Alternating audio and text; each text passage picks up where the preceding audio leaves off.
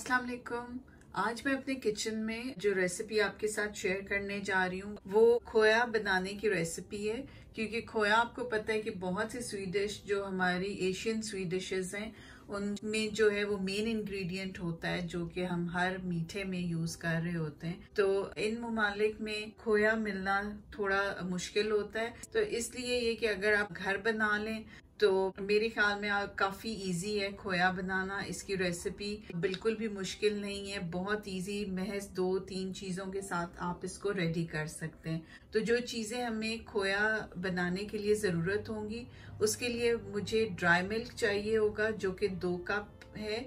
आप dry milk किसी भी ब्रांड का यूज़ कर सकते हैं। और हाफ़ कप जो है वो कोई सा भी फुल क्रीम और स्किम्ड मिल्क कोई भी जो भी आपके पास हो, आप वो हाफ़ कप यूज़ कर सकते हैं।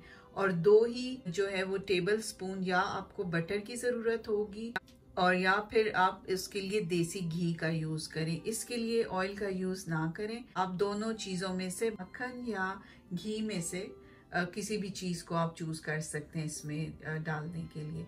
तो सिंपल रेसिपी इस तरह से है कि आपको बटर जैसे मैं देसी घी का यूज़ कर रही हूँ टू टेबल स्पून देसी घी को आपने पैन में डाल दें। उसके साथ ही आप उसको मेल्ट होने दें और उसके साथ ही हम ड्राई दूध उसमें ऐड करेंगे और हाफ़ कप जो हमारे पास फ्रेश मिल्क है, उसको भी हम इसमें ऐड करके विस्क की मदद से इसको हम विस्क करेंगे ताकि ये एक अच्छी थिक सी फॉर्म में आ जाए तो चले हम स्टार्ट करते हैं। तो सबसे पहले मैंने पैन में दो चम्मच, दो टेबल स्पून देसी घी के ऐड कर दिए।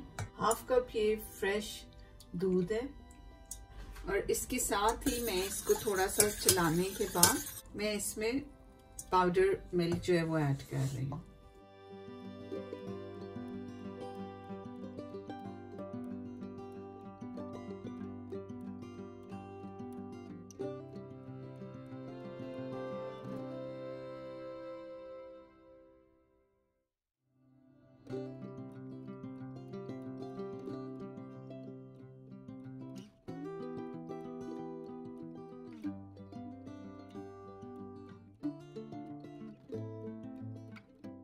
आप देख रहे हैं कि हमने सूखे दूध को, फ्रेश दूध को और देसी घी को ऐड करके बस ये तीन चीज़ों के साथ हमने खोए को रेडी किया और आप देखेंगे ऑलमोस्ट इसकी जो है, बस इसको हमें इसी फॉर्म में रखना है और अब हमें, हम इसको ठंडा होने के लिए रख देंगे ताकि ये कि, ये almost five five minutes five to six minutes में जितनी देर में ये सारी चीज़ें मिल जाए यकजा हो जाए, हम इससे ठंडा होने के लिए अब रख देंगे और फिर हमें इसकी फाइनल जो लुक है, वो आपको दिखाऊँगी जब ये कम्प्लीटली ठंडा हो जाए। हम इसको तोड़ के किसी भी मीठे के लिए हम इसको यूज़ कर सकते हैं। आप देख सकते हैं कि खोया माशाल्लाह बन के रेडी हो गया और ये माशाल्लाह बहुत अच्छा बना है। दो कप ड्राई दूध से आप खोया बना के रख सकते हैं।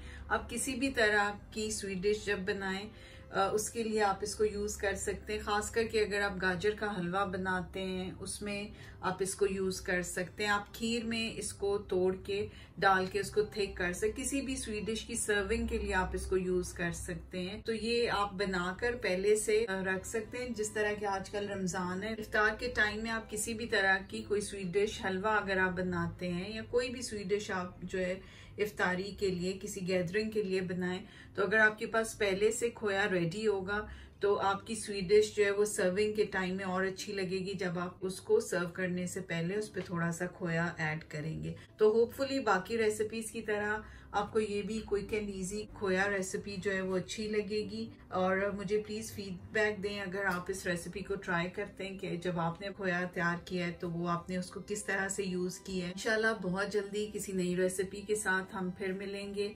मुझे इंस्टाग्राम पे फॉलो करें लाइक सब्सक्राइब करें और कमेंट करें। अगर आप कुछ चाहें, मैं आपके लिए बनाऊँ तो ज़रूर बताएँ। इनशाला बहुत जल्दी नई रेसिपी के साथ हम फिर मिलेंगे।